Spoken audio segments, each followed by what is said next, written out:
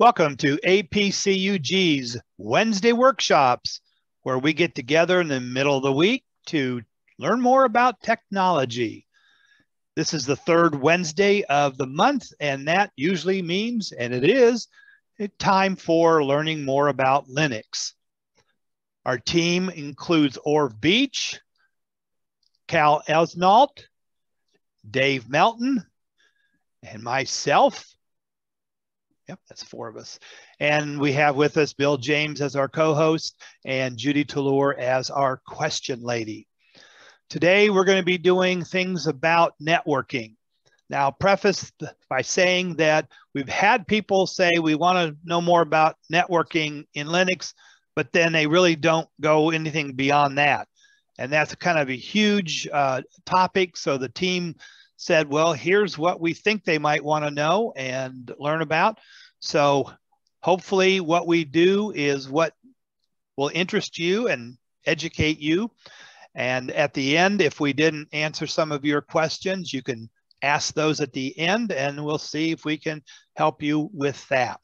Our procedure today is going to be, we're going to break it up into three groups. Orv's going to start out and talk about a background, the basics. I call it LN 101 102, Linux networking. And he's going to be taking us from the beginning and helping us understand a lot about what is involved in networking.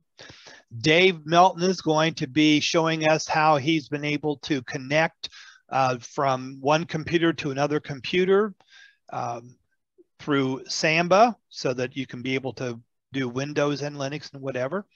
And then I'm going to share a number of GUI, graphical user interface programs that I use and you could use in able to connect to your computers over your network and share files. And then after that, we'll open it up and see what's there. So we're going to start out today with Orv and um, Orv's from California, Dave's from California, Cal's from Louisiana, and I'm the only guy from the East. So uh, uh, we hope you enjoy what we're doing. And Dave, it's all, I mean, Orv, it's all yours. All right. Uh, let me uh, find the right screen here. Uh, let me minimize that. There we go. How's that? I can see networking under Linux. Good. Um, this is going to be an overview of uh, networking basics. Um, this applies to every computer that's got a network connection, not just Linux. We're going to look over uh, an IP address, a net mask, a gateway, what they are, domain name services, and a brief overview of uh, network management using a GUI and command line interface. Um, if you only have one computer in your house, it's almost certainly running DHCP, Dynamic Hosts control protocol. Um, when it wakes up, it doesn't know anything about its uh, network configuration, and it sends sends out an, a DHCP request out on the network. And typically, your home router uh, is running a DHCP server listening for those requests, and it has a block of pre-configured IP addresses it can hand out. Uh, in addition to um, the IP address it hands out, uh, the bare minimum it has to send also is the net mask and gateway, and we'll talk about those. So um, we're going to talk about IPv4, Internet Protocol version 4. Um, there is an IPv6 out there. Um, the reason it came about is because they foresaw running out of IPv4 addresses, which we, we technically did about a year and a half ago. So the IPv6 is um, designed for lots of addresses. I think they said uh, this is like one address for every, I don't know, grain of sand in, the world or something like that is ridiculous. Um, if you ask for IPv6 uh, addresses at home and you'll get your own unique one, you'll get 64,000 addresses. Uh, but we won't be talking about IPv6 because almost nobody runs it at home. So anyway, uh, on the left here, you can see an IPv4 address and they call it dotted decimal notations. those aren't periods in between. They're called dots. And you know, 172.16, you know, like that. Um, MAC addresses and IPv6 addresses use colon notation. There's colons in between. So anyway, uh, left to right, you can see four numbers. Um, they are bytes, and you'll occasionally hear them referred to as octets. Um, with eight bits, each one of those numbers can re represent in decimal up to 255. In other words, uh, eight ones is 255. So um, part of it, uh, starting from the left-hand digit, is the network address, and it doesn't change. Um, the very last byte, last octet will change, and that will be the address assigned to that specific computer or network device. You know, it could be a, uh, I don't know, a, a, smart thermostat or something. Um, the network address will change in width depending on the size of the network, the class of the network, but typically at home, um, the three left-hand uh, bytes will be your network address and won't ever change. Oh, the net mask. How to explain the net mask? Um, you can see, well, let's, go, let's start from the bottom, the class C address, 192.168.1. Um, a class C address, only the lower byte can change, which means in your home, if you're running a class C network, which all of us are, uh, that last byte can vary from zero to 255. And typically, you only have 253 addresses usable. That's because when the network, uh, when the when the host ad the host address can't be zero and it can't be all ones because those are used for other network functions. So typically 254, and your DHCP server will be configured to hand out, I don't know, 100 of them or something like that. You can go in and look at it and change it uh, be careful of breakage though. So anyway, a class C address, only the right-handmost uh, octet can change. That gives you 255. Moving up from there is a class B address where um, uh, the right-hand two uh, uh, bytes can change. And above that, the class A, all but the left-hand most one can change. And what the subnet mask is, it oh, looking at the class A address, the subnet mask starts with 255. 255 is eight ones, and those eight ones indicate that that bit and that byte will never change. In other words, that's the part of the, that's the network address. Um, in this case, it's 10. Um, the three we're showing, 10 dot whatever, 172 and 192, are called private addresses.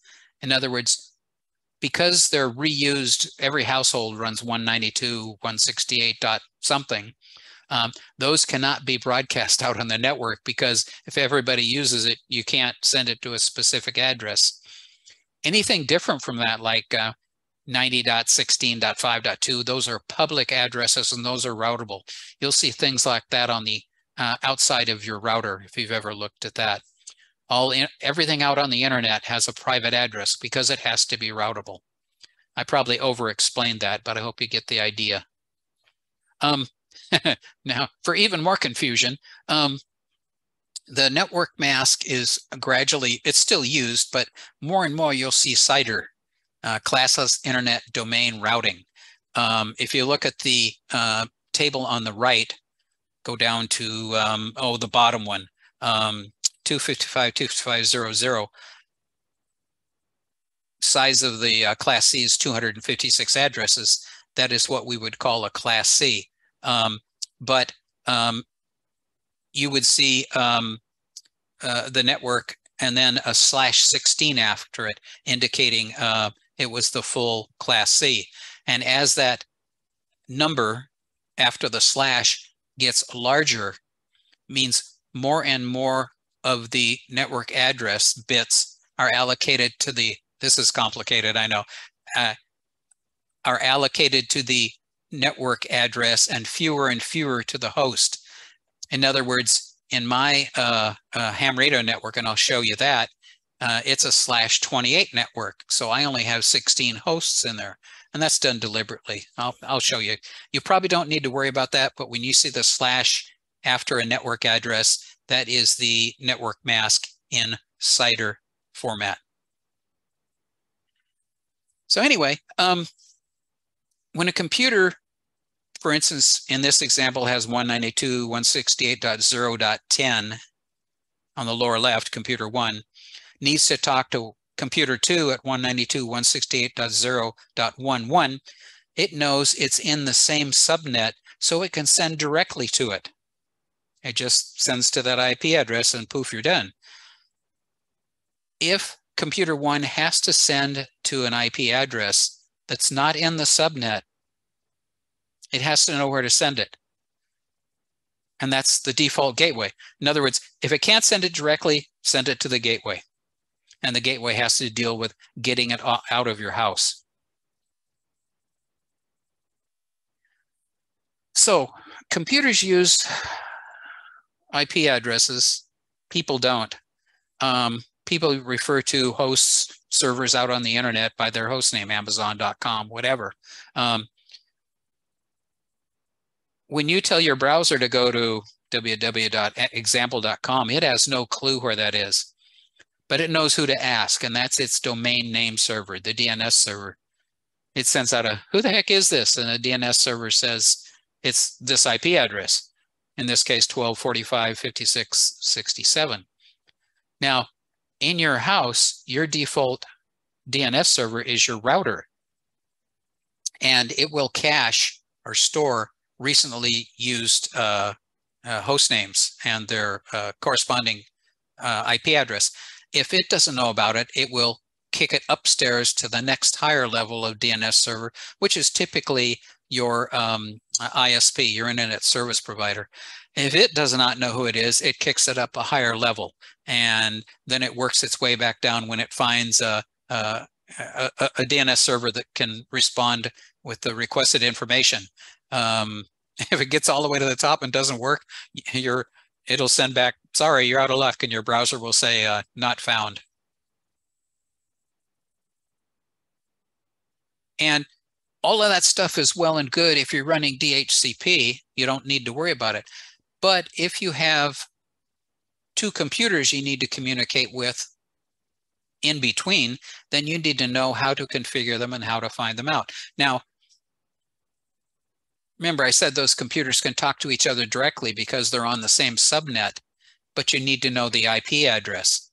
Um, and by the way, um, nowadays DHCP servers are smart enough that when they get a DHCP request, they record the MAC address, the hardware address of the uh, network interface that requested it, they record it, and they will always hand out the same IP address um, uh, to that same computer. So generally, it won't change. Um, I'm not sure whether all of them will retain those over a router reset or not. So just be aware that it might occasionally change. So anyway, um, uh, John's going to go over this stuff in more detail, um, but in GNOME, um, up in the upper right hand corner, you can see the the funny uh, network graphic. And if you click on that, you get this. This happens to be an example of a uh, wired interface. And there's all sorts of good information um, from top to bottom. Um, nowadays, Ethernet interfaces can negotiate speed. Uh, all modern stuff will do 1,000 megabits per second. Uh, older gear will do 100. Really old gear will do 10. And it will either be full duplex, send and receive simultaneously, or very rarely now half duplex. I can only send and receive uh, alternately. Um, uh, and you'll see some of that information in, in other network tools. Any, any case, this link speed was negotiated between two hardware network interfaces, Ethernet ports. This doesn't have anything to do with IP. The network link speed is just the link speed on that wire. So anyway, it's got an address. You can see it's got a class A address, 10.1.1.84. And you can see the uh, IPv6 address underneath it below it. And below that is the MAC address, the hardware address. Um, the hardware address doesn't change. It's assigned to that piece of hardware. You can see there are one, two, three, four, five, six bytes. The three left-hand bytes um, are occasionally referred to as the hardware cookie. Um, those are specific to a hardware vendor. And over years, companies consolidate. So if you go do a MAC address lookup, you'll notice that it could be, um, it will roll up to the current owning company. And you can see the default route. Default route and default gateway are the same thing. If you don't know where to send it, send it here. And then this, in this case, it's 10.1.1.1. Uh, down here, you'll uh, below that, you'll see the DNS addresses, and there's two of them, uh, primary and secondary. Um, typically, your your DNS server will be your the same as your gateway server at home, um, uh, because it it that little box actually is multiple functions. It's a modem, it's a firewall, it's a router, it's a DHCP server, it's a DNS server. Uh, 20 years ago, there would be you know three or four boxes filling half a rack. Uh, the wonders of modern modern electronics. Um, so your your default gateway and default router would be not 192 168.1 dot something or dot zero dot something or in some cases 255 dot something. In this case you'll see it's 8.8.8.8 and 8.8.4.4 those are uh, google's public domain name servers and there are advantages to using those. Um, there are a couple other um, uh, public DNS servers freely available, and I didn't look them up, sorry. Um, and their claim to fame is, uh, you know, very fast lookups, other stuff like that. Uh, a couple of other checksums down there, connect automatically. Well, yeah, you want it to connect automatically and get configured when it boots up. Make available to other users just means, I think, that this can be connected from other uh, IP addresses on that subnet. Now this is GNOME, and this happens to be KDE Plasma. It's not nearly as colorful, but this is a screenshot. And you can see on the left, I've connected to the wired connection. Um, and uh, under IPv4, uh, I've decided to do it manually. And you can see I've assigned an address to it of 10.95.109.117. That's because this particular computer is connected to my ham radio network, which is in kind of parallel but separate from our home network. Um, and you can see the net mask does not end in zero. It ends in 250, which means I have 16 separate addresses to assign on uh, my ham radio network. And there are uh, Raspberry Pis and cameras and stuff like that. I think I've used about eight of them. And up there, the DNS server is 8.8.8.8. That's actually incorrect uh, for this. This was an example I threw together. Um, the DNS server would be the same as the gateway 10.95.109.97. Uh, but in any case, um, DHCP's good. Um, it's it's it generally trouble free. Uh, the only issue is figuring out what the IP address is um, of the remote uh, server. If you can get onto it with a keyboard and a monitor, you can figure it out. But if it's something like a, a headless uh, Raspberry Pi that's acting as a server, uh, you'll either have to hook a keyboard and a terminal to it or go into your router and look at its DHCP uh, IP leases. It'll tell you who has what. and if you do that, you'll be amazed at how many devices in your household have IP addresses, like your phones, um, a thermostat, uh, TV, uh, Chromecast, it goes on and on and on. So it's good to know that these uh, resources are available. Um, Here's a screenshot. This is a Linux machine. Um, not going to teach it today, but if you've been messing around with Linux for a while, you may be familiar with the commands ifconfig to figure out what the uh, address is and netstat to figure out what the route is. Those are deprecated. They're no, they're they're still out there and available, but they're not actively being supported. They're being replaced by the IP command and it's IP and then a subcommand to do all sorts of things. And the, the format's different, but uh, you're going to have to learn it. and I'm going to have to get more familiar with it because I'm going to have to train you on it uh, on a follow-on. Uh, so anyway, I did IP address here at the top and I highlighted it. This is the loopback. Every computer has a loopback network interface um, and it's always 127.0.0.1. I just thought I'd uh, highlight that for you. Down here, this is the name of the Ethernet interface. Yours will be different. Uh, old school was ETH0 um, uh, on uh, Linux. Nowadays, this depends on the slot, uh, the PCI slot that it's plugged into. and I'm not sure what the format is, but it doesn't change. It's just another name. And it gives all sorts of stats here. Um, this is the, uh, oops, sorry, my bad. Let me go back. I can't highlight stuff here. the uh, the internet interface is 10.95.109.100. Um, that was assigned by the DHCP server on my ham radio network, and you can see it's a slash 28. Um, I'm looking at here. Uh, uh, right above it, link slash ether, that's the MAC interface, B04F13, and I have no idea which vendor that is. Um, down farther, you can see INET 6, that's the Internet 6 address that's defined. I think it's assigned uh, from the MAC address. I need to learn more about that. Sorry, I haven't needed to, and I've studiously avoided breaking my brain learning it. Um, Here's another IP route. You can abbreviate the, the subcommands. Um, says the first line is the default route is by 1095.109.97.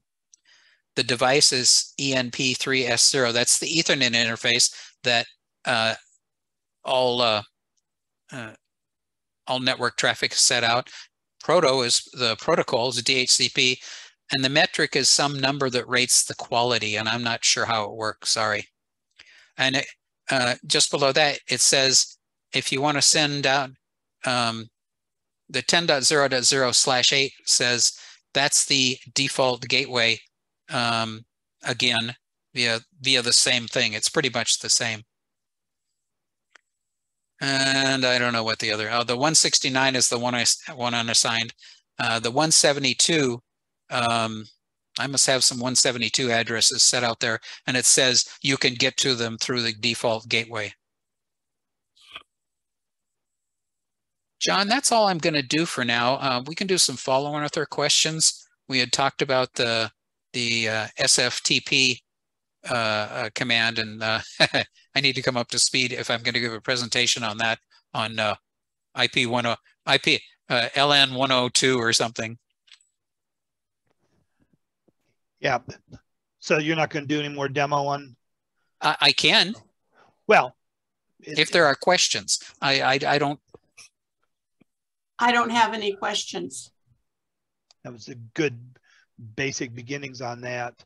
Um, you did remind me that I was going to do a few other things today.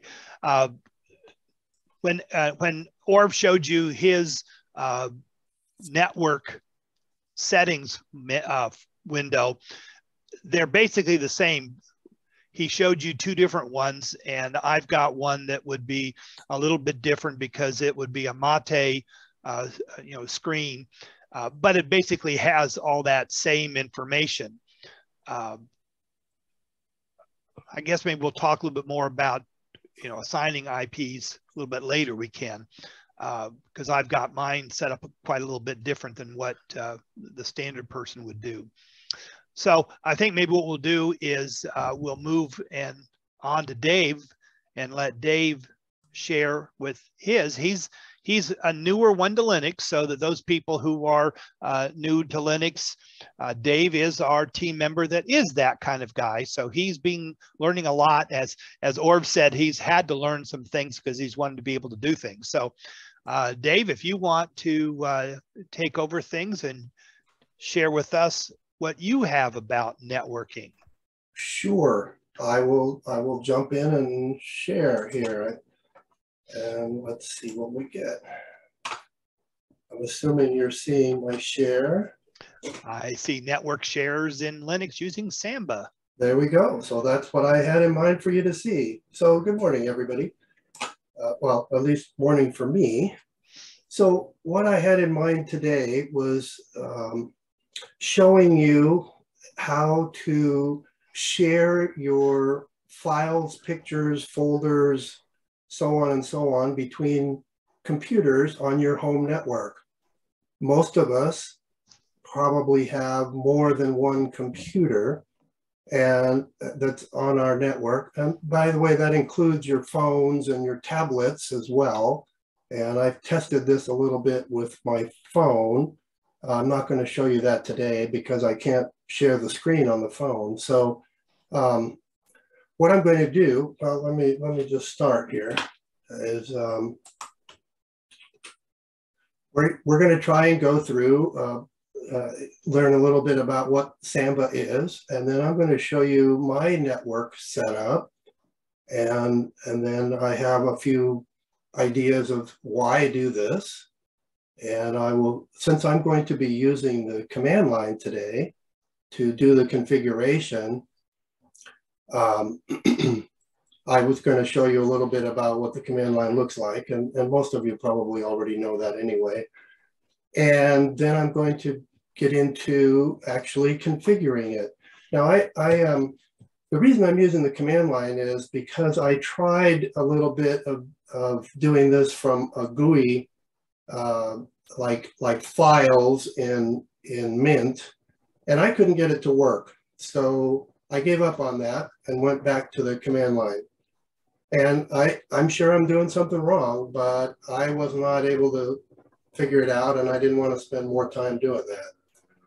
So to, to, to install Samba, you, you also need to create a user and a group for that user to belong to so that your files are all shared as the same user and same group across your network. And then we're going to test it and um, um, and and see what we see from our other computers. So here's a definition that I got from the web. I think it was from samba.org themselves as to what what Samba is. And Samba is a derivative for, for, for Linux of the SMB protocol. You can see down here, SMB. Um, and then it stands for server message block, which I think uh, was developed by Microsoft. Um, but anyway, this is the Samba, uh, the uh, Linux implementation of SMB, which allows you to connect computers together on your network. So just to give you a little bit of a review of my network, I have, as, as Orv was talking about, my network address is 192.168.52. That's my server, I mean, my uh, network uh, uh, side of the configuration, and zero to 255 are my hosts or computers, phones, thermostats, and so forth that would all be assigned an address in my network. Now these, this subnet is changeable. Like you can see, I use 52 because I don't like using the standard that the router comes with. So I just changed the last, the, the third octet to 52, just picked it. Um, I also have internet connection, obviously. And as I mentioned, I have phones, Windows workstations, tablets, printers, game consoles, and so on, uh, with sprinkler controller. And people who come by can get a, a guest IP address as well. And I've created uh, an Ubuntu server, which is going to host my shares. And I have installed a Kubuntu workstation and a Mint workstation. All three of these computers are, are virtual machines on my network. And I've also installed SSH on the Ubuntu server so I can connect to it remotely. And I have SSH, an SSH client on my Windows workstation. So why have network shares? as I mentioned a little bit ago, you can share documents, um, movies, pictures, music, photos, whatever. And you can, and I do, use my network shares as uh, my own cloud by you know by having all these movies and pictures and so forth everybody has access to them i also use it for making backups of my computers and and then um, you know I, i'm sure there's all kinds of other purposes but that's how i use it currently so um, those of you who have used the Linux command line will, will be familiar with the, with the dollar sign, which is the user prompt, or the pound sign, which is the root prompt. We'll be using, we'll be using the user prompt today, um, and I'll explain why in a little bit. So, um, with a little bit of background that I just gave you, uh, I didn't want to spend too much time with that because these steps take a little while. And uh, so here are my steps. Uh, and, and I'm going to go through them with you physically here. And I will share this screen, which is my Ubuntu server. Hopefully you can see that overlaid uh, uh, over the instructions there. Yes. Okay. All right, so what I've done here is this is a an SSH connection, and as I mentioned, I'm I'm the user, not root. The pound sign is is for root, um, and I have I have connected from my Windows computer to this machine um, right here, Ubuntu server is what I named it. And this is just the welcome screen from Ubuntu when you log into the machine.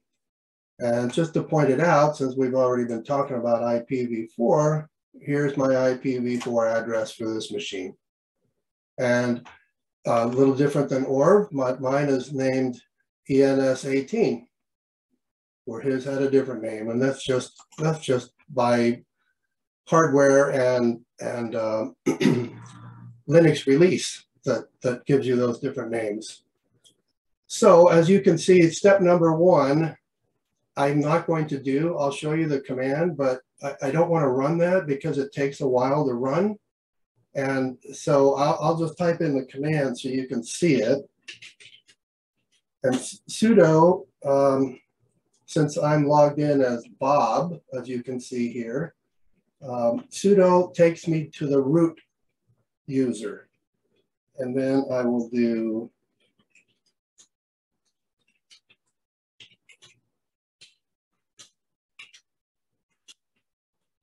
I'll explain this in a second.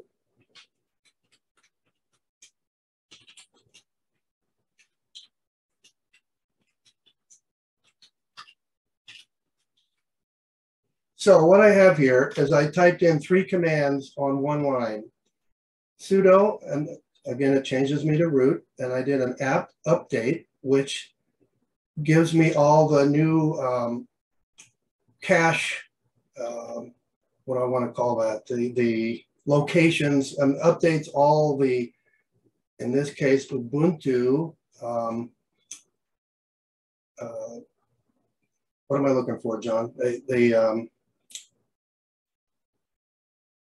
uh, what, Anyway, you're gonna be you're gonna be checking all the repositories for anything. Yes, yeah, repositories. That was the word I couldn't think of. The repositories. So it's going to update all my repositories, and then the double ampersand here says if that command runs okay, go ahead and run the next command. If it doesn't, quit. So assuming that it works, I put in sudo apt upgrade, so once I've updated the repositories, then I want to do upgrades for everything on the system. And then after that, I want to do an auto remove and anything that got, as Orv put it, deprecated or changed or update, uh, uh, removed, I want to actually physically remove it from the machine. So that um, this command runs well, when I initially ran it a few days ago, it ran for probably half an hour. So we're not going to do that today. So I'm going to cancel this. I just wanted you to see it. After that, now I'm ready to do step two, which is install Samba. Again, I want to switch to root, APT, which is app, the application uh, uh, engine. And I'm going to run this command. And he's going to ask me for my password uh, that allows me to change to root. And as you can see, since that takes quite a while also, I've already installed Samba, but um, it ran and it said, oh, so it's already installed. So then I'm going to check it.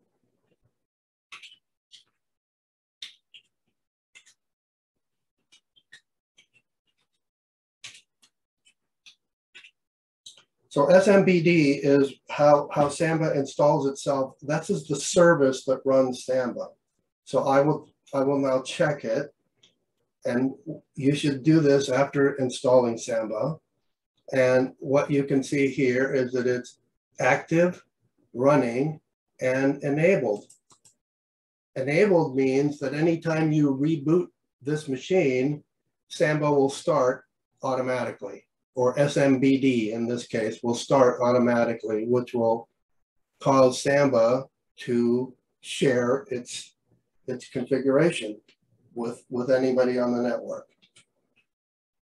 Okay, so now what we need to do, since we're going to um, modify the configuration that comes standard with Samba, we need, I, I want to stop the Samba service from running.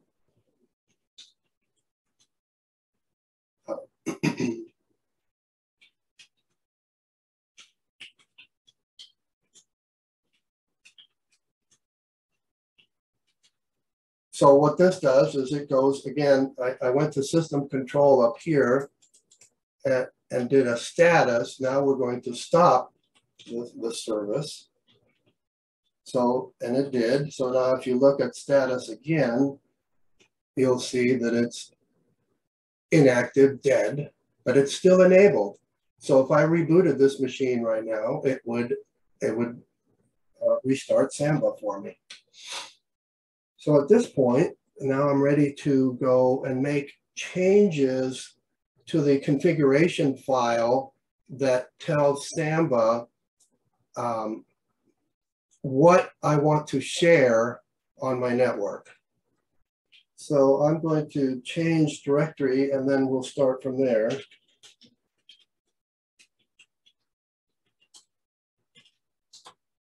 So you can see that when I installed Samba, it created a configuration file, smb.conf.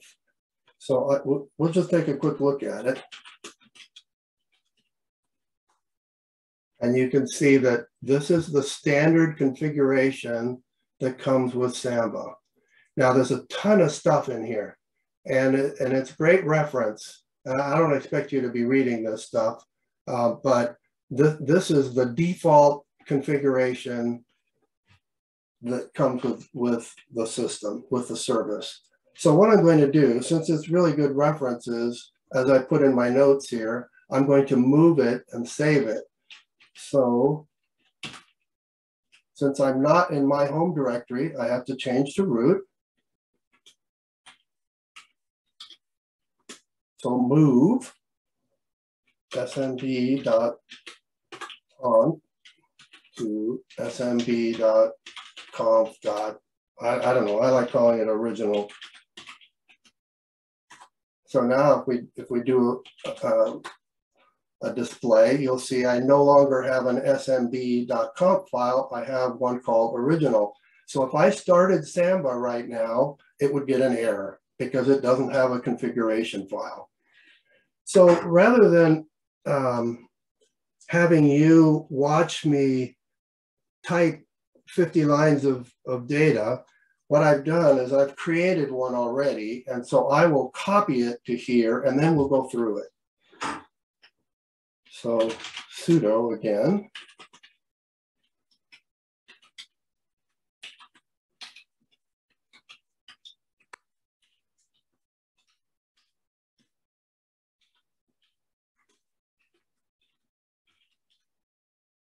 So what this is doing is copying a text file that I have created with the configuration of my Samba settings.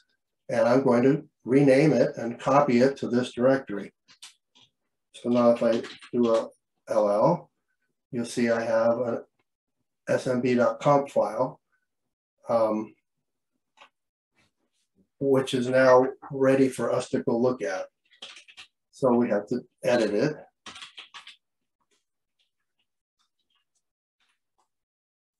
So here's the here's the file I created. It only has 52 lines instead of 350 lines.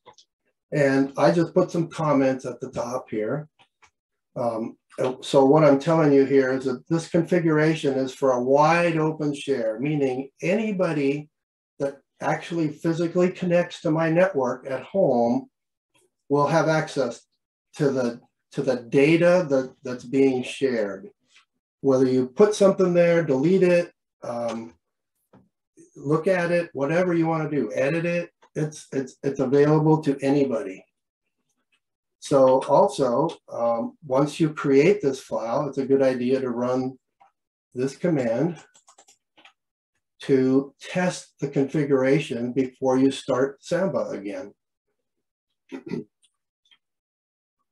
so there, in, in my case here, I have two sections that I've created. The, the global section is, is for the Samba server it, it defines the server. So for instance, the server string, this is something you see when you log in. Shop Samba server is what I called it. My work group, it's called Bird Nest. All my computers on my network um, are named after birds. So like my daughter's computer is called Falcon, for example. So I just chose a, a work group called Bird Nest. now, in order for them to see one another, they need to be on the same, in the same work group. Um, then we go down to the next line. User level security is, is, is user. So this is, this is a very minimal amount of security, but you, you have to to find something in here for it all to work. Then we go down to the next line.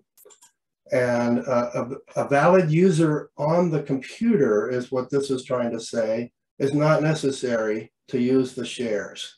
So that's defined as map to guest bad user. That's just the way Samba set it up. Then um, broadcast is what the client is broadcasting. So this is how, how Samba or your network resolves the names of the computers on your network.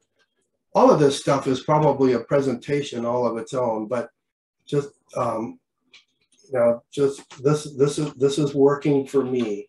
So now I also, from reference on another website, found to have a little tiny bit of security. I I put in uh, host allow, so anybody on my network will get a DHCP address in, in the range of 192.168, in my case, 52 dot something. And so if, if you broke into my network somehow, then you wouldn't have one of those IP addresses. So hopefully it, it puts a little bit of security uh, in here. And then also the other side of that, host deny is 0.0.0.0. So um, hopefully that helps a little bit. I, I didn't have a way to test that. Uh, I'm just assuming that the information is correct. Uh, now, now we go from the um, global settings down to the share itself. So I've called my share public. So that's what you'll see as the, as the person who connects from another computer, you'll see a share called public. And I happen to create a path called backslash shares backslash public. You can call this anything you want to. You can also put it anywhere you want to on your on your server hard drive. Um, then the next step I did is I'm going to force a user called SMB user and the group called SMB group. which we have not created yet. That's a, a few more steps down here. And then I put in a little bit of information as to what um, the masks mean when you create a, a file or a directory. Um, these are obviously just comments. So when, when you create a file from, let's just say Mint, it will get created as this user with this group with these permissions. And, and um, the permissions are, are defined here. The zero is what type of file it is, whether it's a directory or a regular file or a link. So in my case, all I cared about was the permissions themselves. So 664 says the owner has read and write access and the group has read and write access, but anybody else who's not part of these two groups has read-only access. I, I hope that makes a little bit of sense. Now the directory mask is a little bit different and it was explained to me in, in, in some website I went to that in order to create a directory from Windows on Samba, the directory has to have read, write, and execute for the owner, the group, and read, write, uh, uh, read and write for the for the other person, or you won't be able to create a directory. All you'd be able to create is files. So I, this this all works, and um, oh, I, I, need to say that, that it's public because, like as I said at the beginning, this is available to anybody that joins my network. So public is, is just fine. And writable means that you can create these files with these permissions. So this is the file, this is the new configuration file for my Samba server that we will create here in a moment. So I'm going to save the file and exit and go on to the next command. David, let me just quick ask a question. Yeah, please. Because I can't. Did you create this file by editing the original Samba file? No, uh, uh, I, I should have covered that. I started from scratch. I, I, I looked at the original Samba file and it has those sections, but it had a whole lot more as well. So I didn't want all that other stuff. All I wanted was a share that I could uh, share files and folders with or in, if that makes sense. Yep. You can also, Samba also gives you the ability to share printers and, and several other things. And I, I wasn't interested in doing that. I, I wanted to keep it super simple. So all I, all I, all I did is share a directory and allowed users on the network to access it. Okie doke. Yes. Okay. So now I'm going to create um, a user, or actually a, a user group, to that will have access to the shares that we will create shortly. So before I do that, I'm going to go to the uh, root directory, which if you remember in my in my uh, configuration file, my directory that I'm going to share is called slash share, right? So right now you'll see that if I do a LL, or you'll see that I don't have a directory called share here. It would be right in this area here somewhere. So we're going to create a use a group and a user and then create the folder or the directory to share. So I'm going to sudo again into root and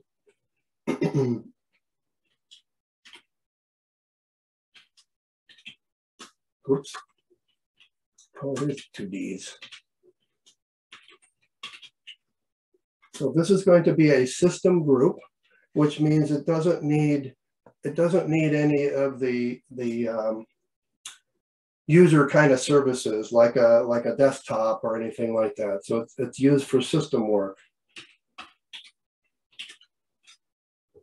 So we're going to add a group called uh, SMB group. And now we can do um, cat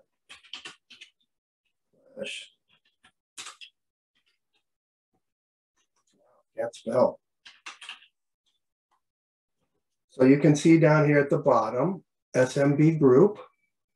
And the fact that it has a number of below a thousand, and again, this is another topic that I'm not covering, it means that it's a system group. So from now that I have a group, I can create a user.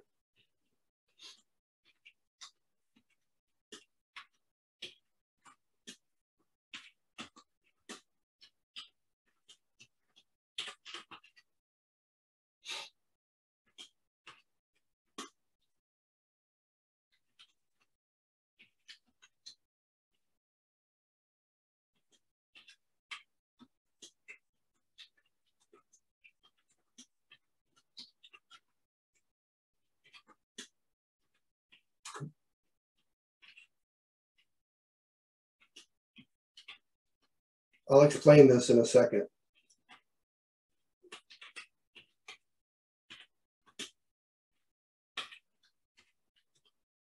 Okay, so what this command does is going to add a user. This user is going to be a system user.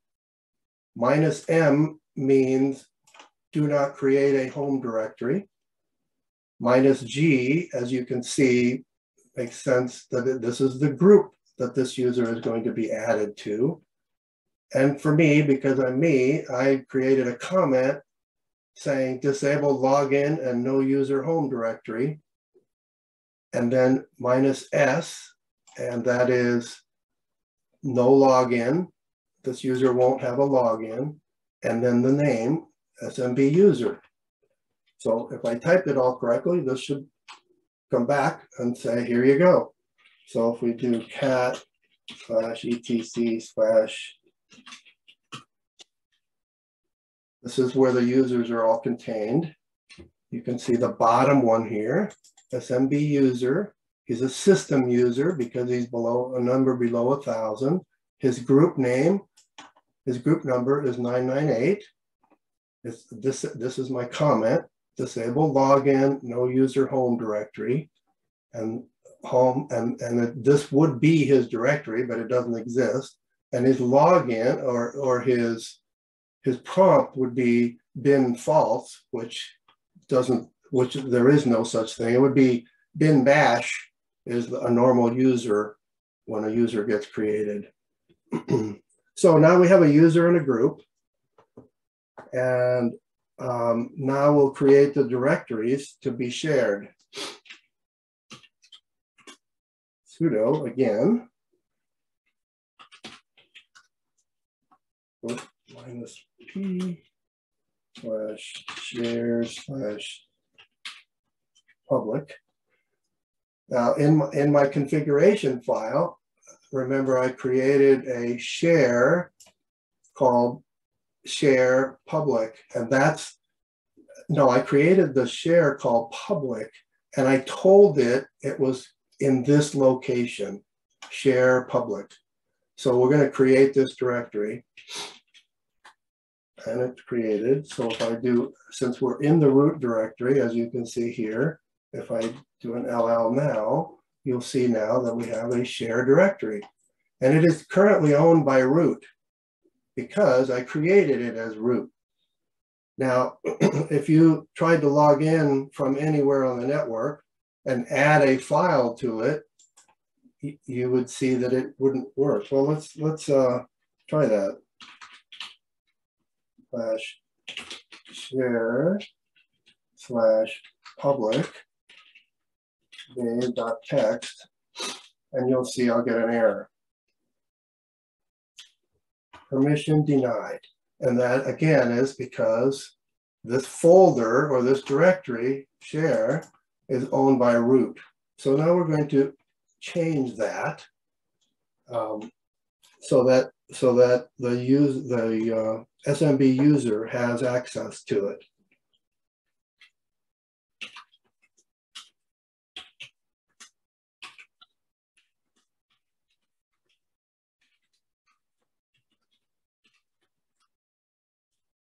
So you can see I typed in the username and then the group name and now I'm going to type in the directory.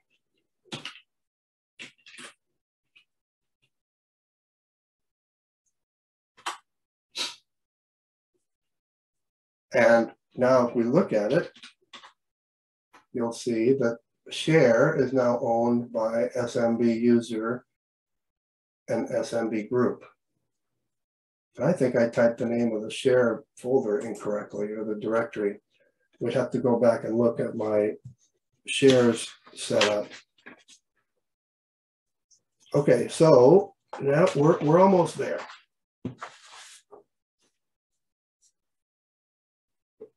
Yeah, I think I'm gonna I'm gonna move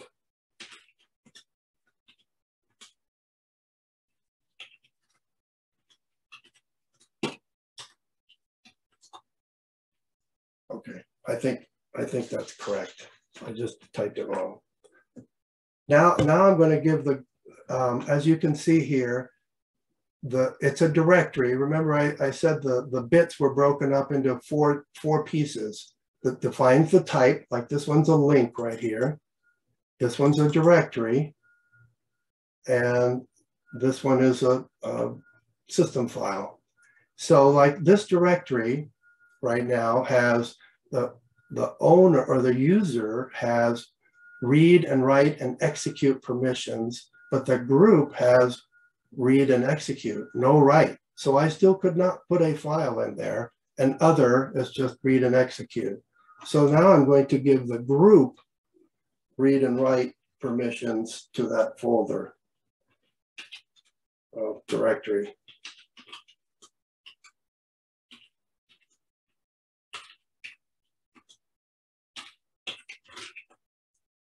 So I'm changing, well, I don't need to change this one, but this one now is read, write, execute, which is a seven, a seven, and then a five, which is read and execute. So it, it, keep in mind the one that's highlighted there. And now if we do LL again, you'll see that this one now has, the group also has read, write, and execute permissions, and the other still is read and execute. Whoop, clicked on the wrong button. Shoot. How do I get back to that? Okay, oh, well, that sort of worked. So um, I now want to uh, test my parameters. Remember, I had that comment in the configuration file, test parm. And now it's going to show us the configuration that we have set up. We have the security as user, the work group as bird nest, the shares is called shares public, and it's the force the user, uh, force the group SMB group, force user SMB user. So the fact that I didn't get an error message says that it that Samba liked the configuration. So now we'll start Samba over again.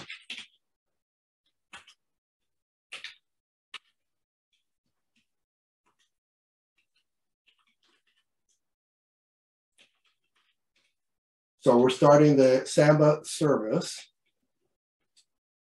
and we can look at it.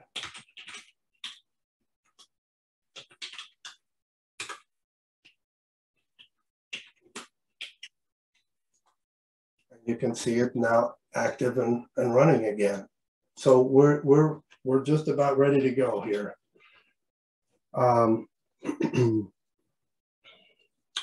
one more thing we need to do, in order to connect to it from any computer, we're going to need to know the IP address of the Samba computer.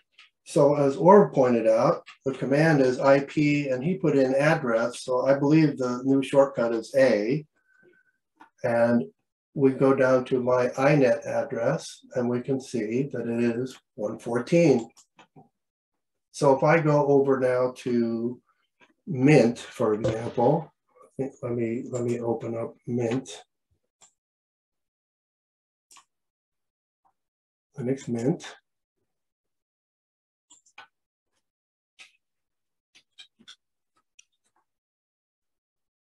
And I go to files, which is Mint's um, file manager. If I did this correctly, let's see here, Mint, um, you can go to bookmarks and add a bookmark. Where did it go? Under bookmarks, home. I can edit that now, rename, shares.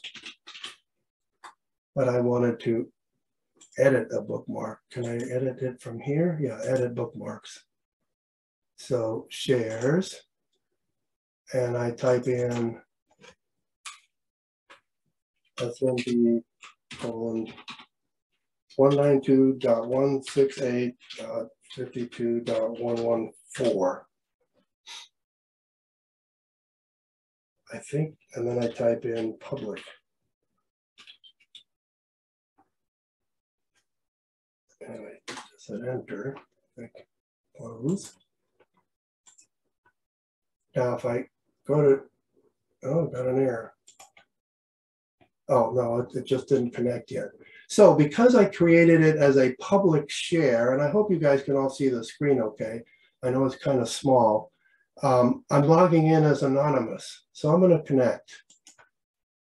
And here's public on my Ubuntu server. So I, I can right click here and create a new folder. I'll just call it Mint.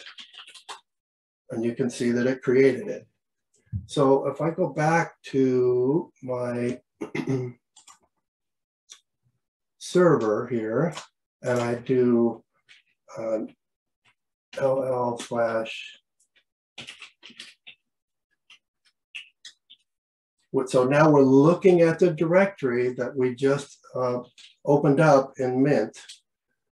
We, we now have a new folder called Mint in that directory, and it is owned by user, SMB user and group of SMB group.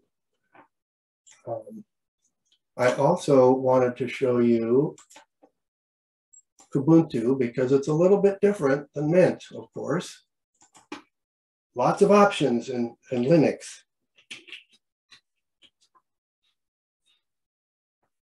In Mint, I mean in, in Kubuntu, it, the file manager is called Dolphin.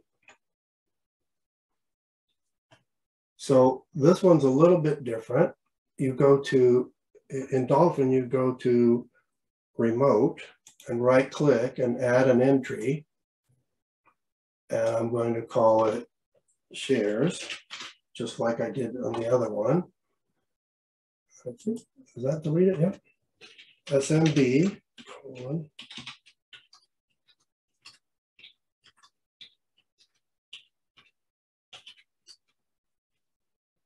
We click OK. So then we go to share. Did I type it wrong? No. Why doesn't it like it? Maybe you don't do it that way in Kubuntu. Oh, I, I, I typed it wrong. Edit it. Not shares.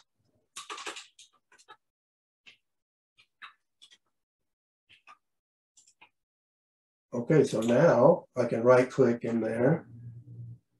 It won't let me, why not? Share right click, create new folder. I'm going to call it. So now we have a folder called Mint and Ubuntu created from two different machines. So again, if I go back to the server, and I do a, a long list of public, we should now see two folders in there. Again, because I set up Samba user and Samba group, it was created as the Samba user and Samba group name. Um, one, let's see, I was going to show you from Windows also. I imagine that most of us still use Windows in one way or another. So I was going to show you here how to do that in Windows. So I can type in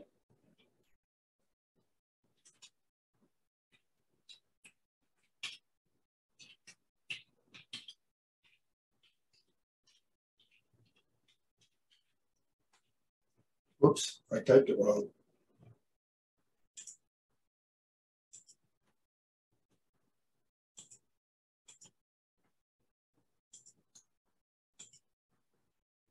So there's my public folder. If I open it, you'll see Ubuntu and Mint.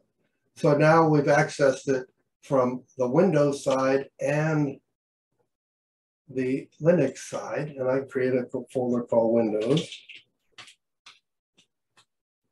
And again, if I go back to my server, now you'll see I have three folders created. That's um, the simple way in Samba to create a publicly available um, network share. And I think that's pretty much all I have. Let, let me look at my notes here.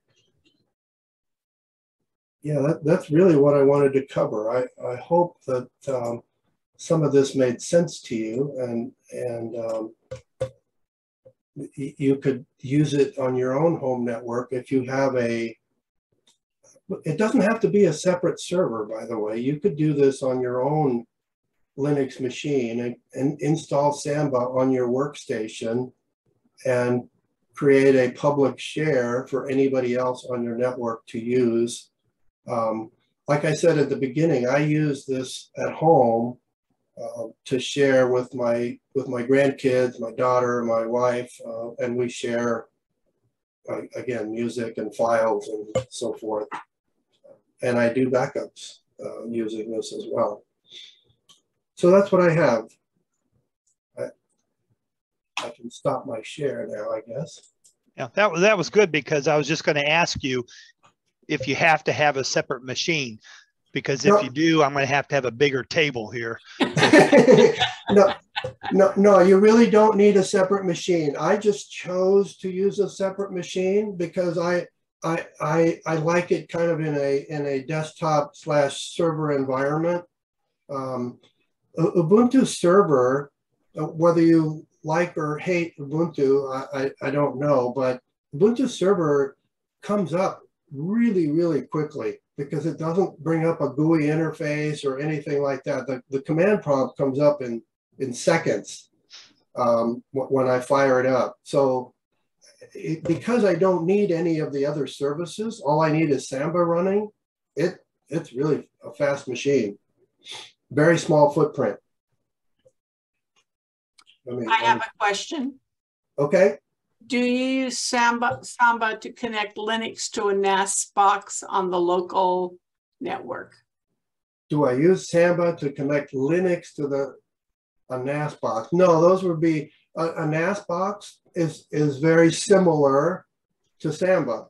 the NAS and as well as Samba are, are serving the same function. Your, your NAS box is a place to, as a repository for all your your files and folders and pictures and so forth, just like the Samba is. Uh, a Samba is another way of creating a NAS box, except you're creating it on your own instead of buying one. Uh, you said it was your own cloud. Can it be accessed from Wi-Fi or outside your home? It can be accessed from Wi-Fi for sure, because anything Wi-Fi is on my network. So like I said earlier, I, I, I believe I, I shared that I have connected to it from my phone and it works fine. And obviously the phone is through Wi-Fi. But no, the way I set this one up, it is not accessible from the internet. Um, this might be something that uh, you want to answer in writing uh, that I can send out to everybody. But what problems did you run into attempting your process with the GUI Samba configuration program? For those of us who are terminally, terminally challenged, this may be an obstacle too high. And this person also said, now I know why my Samba install never worked. Okay. Um, well, I'm uh, maybe, maybe they got some good information the the the GUI um, couple videos that I watched had suggestions on how to connect it and it would automatically install Samba for you. Um, I tried it in Mint as well as Kubuntu and I could not get it to work the way the instructions were written. So I, I gave up. So I, I can't answer the question completely because it just, uh, the, the options that they were telling me to follow weren't there. Does that does that make a little bit of sense? Yes, it does, because I often look up things and follow the instructions totally. I'm talking about Windows here. And what they say, it, it isn't there. And I'm always there. wondering where in the world, or is this a thousand years old or whatever? So yes, that makes totally sense to me. Yeah, I, I tried um, uh, three different file managers in Linux because I wanted to create this the Samba server in Linux and and I uh, the option that they used in in the instructions I was trying to follow was not there. So I, I said, well, okay, I'll try a different file manager. That didn't work either. So I just said, okay, well, I guess we're not doing it that way. Originally, I wanted to show that because it sounded like for most of us, that would be an easy way to go. It sounded awesome, but it didn't work. Uh, and uh, FYI with the poll from the DistroWatch uh, presentation. And today uh, I we have three new presentation ideas. Way cool. Oh, John Kennedy, you are on to introduce yourself. Okay. Dave, yes, you're sir. no longer the rookie anymore. okay. That was uh, great. This brought, this brought me to a whole new stage, did it? Oh, it did. It did. I resign. You're in charge. All right. Um, so since I'm working on another computer and turning my head, I'm going to turn my video off because that drives me crazy when you're not looking at the screen. That was great. And I like it. I'm Thank into you. the I'm into the uh, command line and stuff like that. That I'm learning things from uh, Orv and, and, and a few others.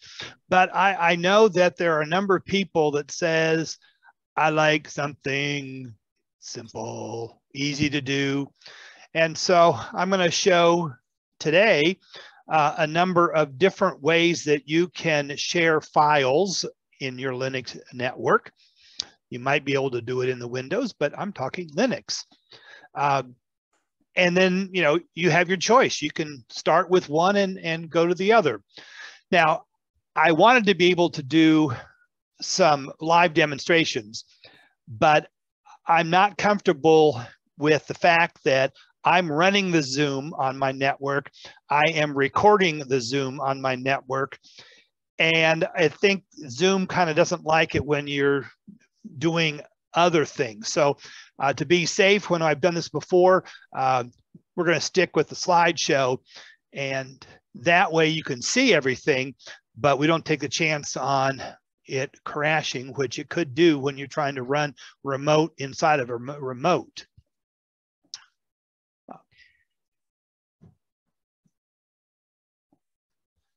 And I want to make sure you, you take note of the background so you know that this is this is my background for next thing we do here.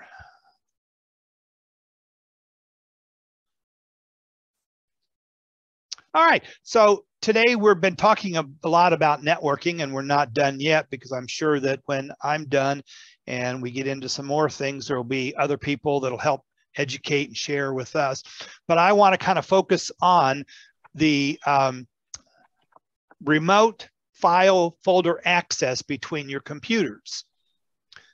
And I'm going to share some GUI programs or three GUI programs that pretty much are easy to work. If you can do your file manager, you can do this. We're going to talk about these programs and uh, I'm just going to touch on the SCP part because it's not a GUI. All right, we're going to start out with Warpinator. And I will tell you that Warpinator is the uh, brainchild of uh, Mint. And I'm sure that uh, with open sourceness, it will be, if it hasn't, uh, it'll be coming out and available for all of uh, Linux users. And this is a program that will connect to any other Mint computers that you have on your network. Uh, but if it's not Mint, then we're going to do it a different way. When you open up the program, and you can have this set to automatically open up, Warpinator will automatically show you the other computers that it uh, detects. At the bottom, you can see that I'm on the laptop, which is what I'm on right now, but we're not going to do this live. And it says, hey, I've detected another Linux Mint, which is my tower on the other side of the room. If I had another one, uh, another uh, Mint set up and running, I would have a couple of lists uh, on here. So I select, if I had more than one, I would select the one I want to be uh, sending files to. And as you can see, it's moved up to the top. So uh, my new laptop, as I named it, is going to be able to send files to my tower. And on the right-hand side, there's a button that says send files. There is a recent one. So if you have a file that you've been recently working on, it might be on that list. You can click it or you browse. Now, I'm not going to show you a file manager. Everybody knows a file manager. And so you just use your file manager to find the files that you want to uh, move, uh, switch over. I found the slide or found it in my the, the manager window, clicked on it, it added it to this screen. And so you can see I found an ODT file and I'm going to be uploading it. Notice the arrow over here at the left-hand side, uploading it to John at the tower. And right now it says it's waiting for approval. And the other computer then has to accept that uh, file that comes in. Now, I just did one, but you can do a number of files at one time. I need to send this one, this one, this one, this one, whatever. I just did one because it makes it quicker. Now, notice this is, says at the bottom, I'm on the new laptop. Now, notice at the bottom, I went over and took these screenshots of my tower and Warpinator, which is also running on that, says that, oh, John from the new lap has some files for you. And you can also see that over on the left-hand side, the arrow is pointing down. So that's saying it's downloading from John. They do a very good job of making it simple. And it lets me know that it's waiting for my approval. And on the right-hand side, I have two choices. I can check, click the check mark and get the file, or I can say I don't want it and exit out. And then when that other computer, or after I've done that, it uh, shows me that it's complete. And it was a very, very fast transfer over my network for this file. It wasn't a big one, but it was there. And on the right-hand side, you can see the folder icon because even though it says it, it says that it was completed, that the file downloaded from my laptop to my tower. People don't always believe what they are told. So I can check my folder and I happen to have a folder called Warpinator. We'll talk about that. And you can see there's the file. And this is on my uh, desktop.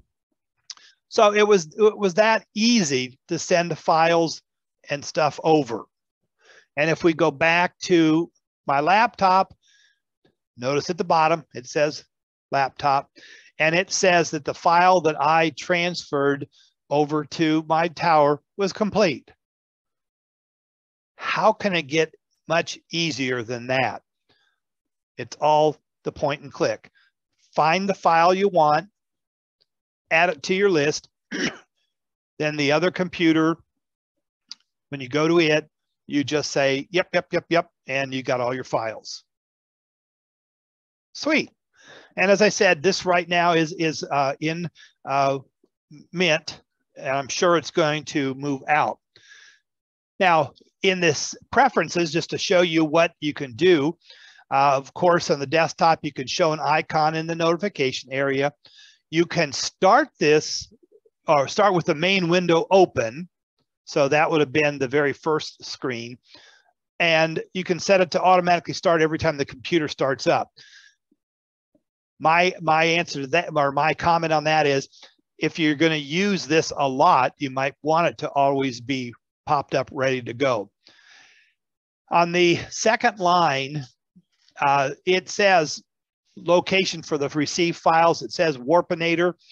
Uh, that was their uh, suggestion. And what happens is that it automatically created the, the folder. But you can choose from a list of folders on yours. Uh, I can make a separate one for something else, but Warpinator made sense that that's where the files are going to come. So you can pick that. And you can require approval before accepting files, or if I don't want to have to get up and go to the other desk, I just send those. Now, the second one, or the next to last one, re require approval if it's going to be overwriting a file. Uh, you know, you might want to have that on because in case you've got that file already on your computer, um, and this is an older one, you don't want to lose it out. And also you can have a notice that if someone sends you or tries to send you files, let you know. In the connection, as as um, Dave said uh, under under his with with the uh, Samba sharing, you've got to have a group, and this one is uh, nicknamed Warpinator, but you can change it. we probably all would say uh, always change it from the default that whatever the with whatever your program says comes up with the default uh, change it because everybody knows that the group code for warpinator is warpinator and the default folder for files is warpinator so you know you can change that and the only thing i had to do uh, was this bottom part where the uh, update to firewall because your firewall as we have talked before, protects things from getting into your computer. And so Warpinator has some rules about uh, ports for your files. And at first, my laptop wasn't, uh, couldn't get somebody. Uh, the desktop saw the laptop, but the laptop couldn't see the desktop. Once I made, I figured out, oh, I got to update the rules. And once updated the rules, then everything was fine and they see each other uh, every time. So that's that's Warpinator. Just too easy. Find a file, send it. Find a file, send it. Now, for people who don't have every computer a Linux Mint computer, one of the things I use a lot for sharing files between my computers because I'll use my desktop maybe to create today's presentation, but I'm showing it on the laptop. So I use pCloud. And of course, spell check changed it. It's supposed to be a lowercase p and a capital C. I have to change that in there. Uh, I use pCloud because it has uh, all the features that I like. Uh, there's a free uh, so, a free version, and I do pay for the lower version because I don't need you know multiple terabytes of uh, storage space. So I use pCloud for it's my backup program that automatically backs up my computers, uh, and I use it for file sharing. I'm going to show you how easy this one is as well. If you notice on the left-hand side, pCloud has a, a client that installs on your computer. So it shows up as a device. So you can see that it's in my, excuse me, in, in my list of devices, which are just like my partitions. You can see I have a miscellaneous and an ISO box and, and a virtual box that I keep. So pCloud shows up right there. Also, if I go into my home, if I would go into, wrong screen, go into John, I would see the pCloud folder in John. Uh, I just haven't put it in this as a, uh, a bookmark type thing because it's right here. I don't need it. Now, so what I did was I went to my folder that's, uh, sorry, I'm using wrong mouse on the wrong screen. Um, I'm, I'm using my uh, file manager and I moved to my screenshots folder and there's the folder of the Warpen, Warpinator presentation. And I say I want to upload that. That's the one I want to and go to pCloud. So all I'm going to do is copy the folder into my P, pCloud folder. And I just go up to um, view, and I'm going to teach you something else if you haven't done it. I do it a lot easier with with a lot of Linuxes in file managers. They have the ability to have a second uh, uh, second pane on your computer. Right now, I just have one.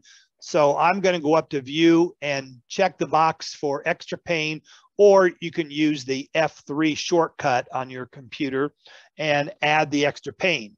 And so then we'll get this way. so now I have two panes. On the left-hand side, this is my screenshots folder. And on the right-hand side, I'm going to navigate to my pCloud drive. And so you can see on here that uh, it doesn't show up on the left hand because that's just the default folders. But under my whole set of uh, home folders, there's pCloud. And so then I just go into pCloud. And so now I'm in my pCloud folder. I right click on my folder that I want to switch over. And then I have other pane, copy to the other pane and that simple, it copies it. I don't have to drag and drop. I don't have to right click, click copy, right click, click paste. I just go here and click other pane. And then when I do that, bingo, my pCloud presentation is now in my pCloud saved folder.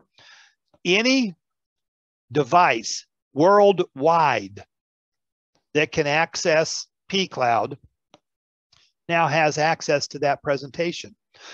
and this has worked out great because uh, before I was using pCloud, I had another one.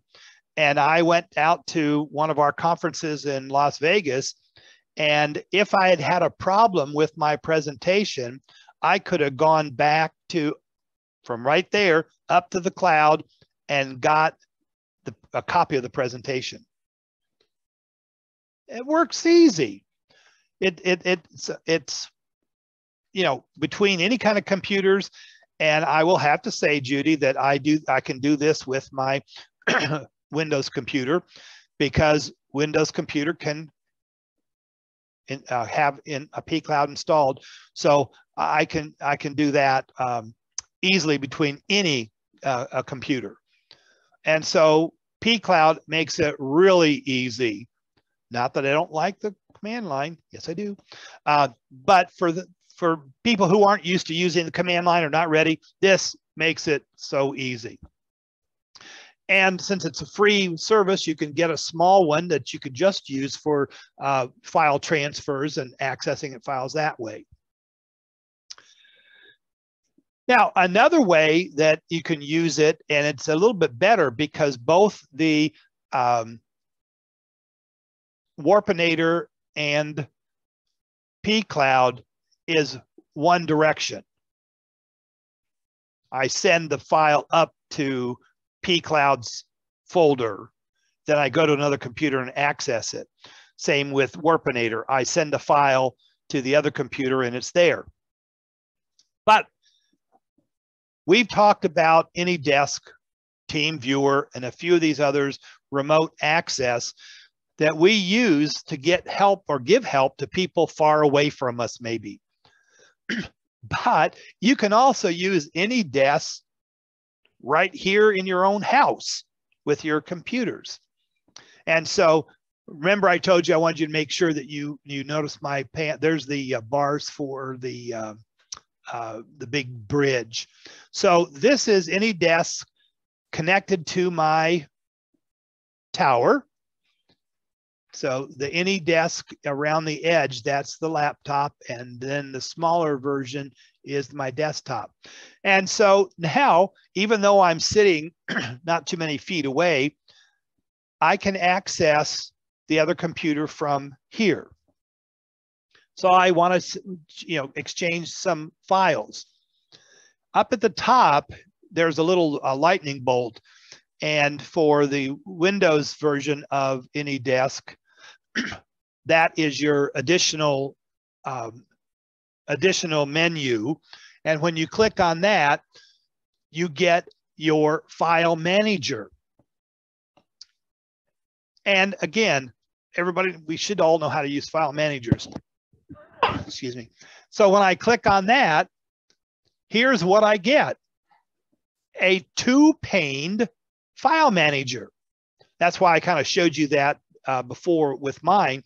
So you kind of had a preview of this. On the left is my device, which is the laptop. On the right is the remote device, which is my uh, tower.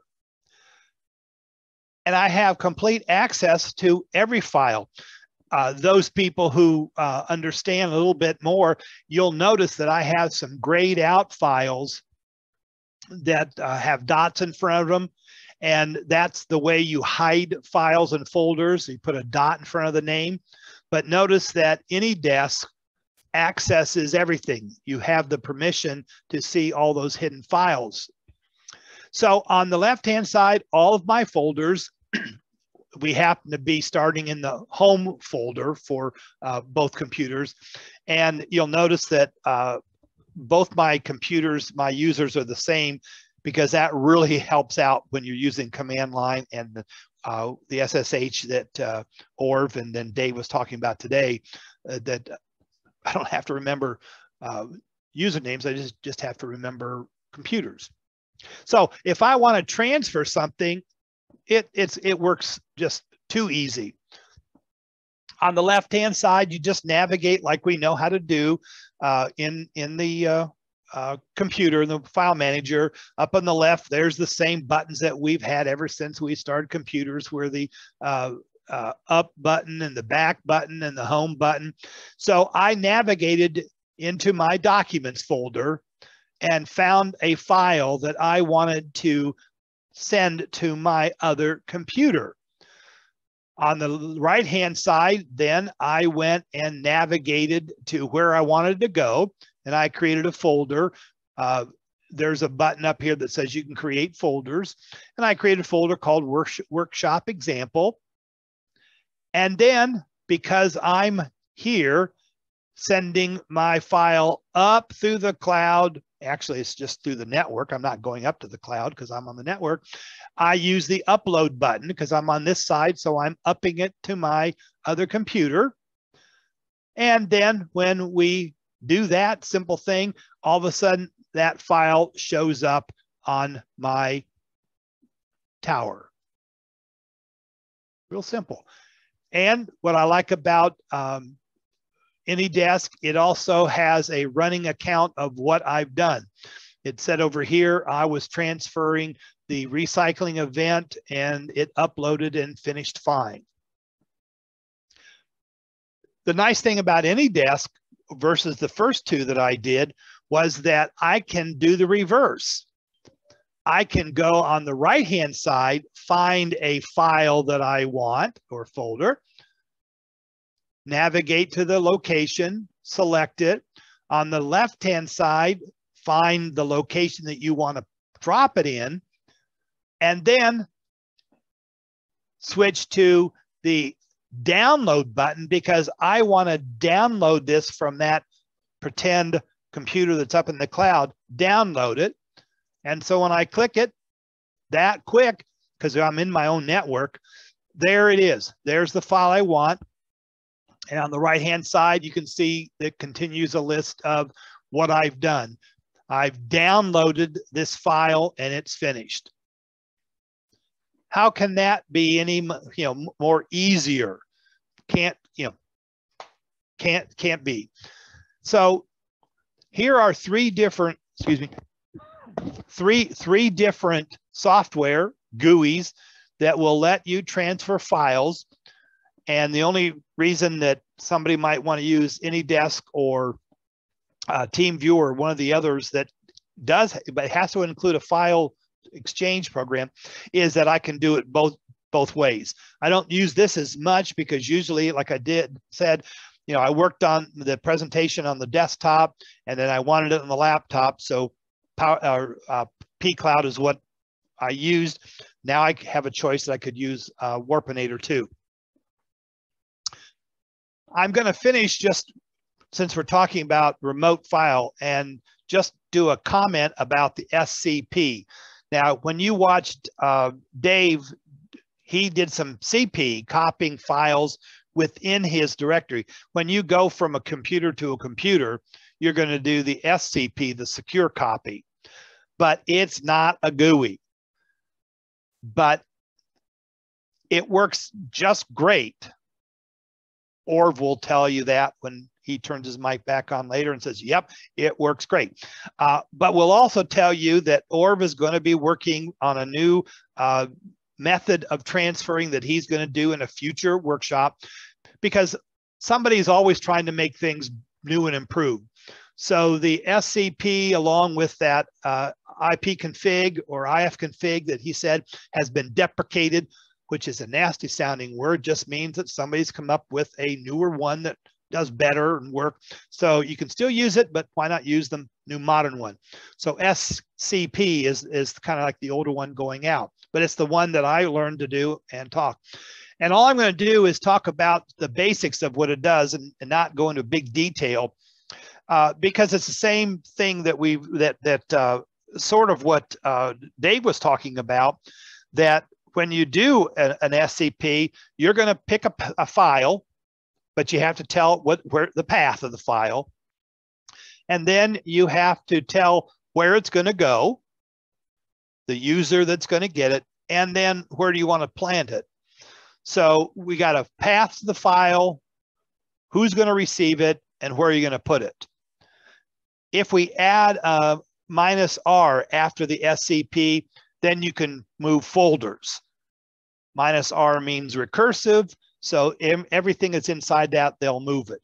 Uh, so as an example to sending a file, and I, I've been taught this, so I, I say, hey, I can do this now. And I can go from uh, any of my computers, and we were also learning this because uh, up until recently, uh, we have a 12 computer Linux lab, and we can send files back and forth to each other. So we've learned to do that. And so here would be the example that I'm going to SCP, and I'm going to take a file from my home user's video folder called funnyvideo.mp4. This would be on one line, but it's too long, so it's it's crossing two.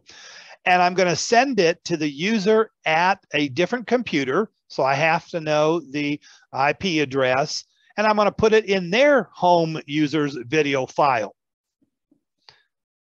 Now, when you look at that and you'll say, gee, when I saw how it worked in Warpinator and in pCloud, it was just kind of like click, click, click, click. Well, that's the way the GUIs work. But for somebody who gets really good used to uh, uh, terminal and, and commands, uh, you can there's a lot of shortcuts that we talk about in filling out what it, what you're wanting to to uh, type. It, it'll fill it out for you, but that shows you how it does it. And then if I would do uh, go to that user and do an ls to see what's there, we would find that in their home users video folder was now a funny video uh, MP4. And from the same computer, which is what the AnyDesk is doing, uh, actually, I, I bet I'm guessing that that's what's in the background of AnyDesk. It's using the SCP forward and backwards. Um, it's just the opposite. If you want to receive a file, you just kind of flip the order. Again, uh, adding a minus R will let you uh, move a whole folder. But first you have to say, who's going to send me the stuff? Where, where is that person? How do I get to the file they want, and where do I want it to go when it gets here. And down at the bottom, you can see I just flipped the, the uh, um, order. I'm SCPing to that other computer, that user at 192, 168, and I'm going into their home user videos folder, and I want the funny video uh, MP4, and I want it to be downloaded to my home user video. now, we'll tell you that there's a lot of, you know, like shortcuts. If I wanted to do it real quick and dirty, I would just have put a period or dot, sorry, sorry, or dot. I would have had a space after the MP4, put a dot, and that told the computer, just put it in my home folder. I wanted it in the video folder, so I just type it out. And that easy, files get transferred. And if in a future class, we would do it where uh, you can send multiple files at a time and receive multiple files at a time. And there's some other things that you can do with the SCP. And um, Orv's going to find out and teach us that there's multiple things you can do with the um, SFTP. Yeah, I think that's the new one. So that is a quick uh, tour of easy graphical user interface um, programs that you can use to transfer files within your own network. Perfect timing. So we'll come back and see what else we can talk about. Judy, any kind of questions from that? Um, yes, I'll be with you in a moment. Okay, I'm going to take a drink.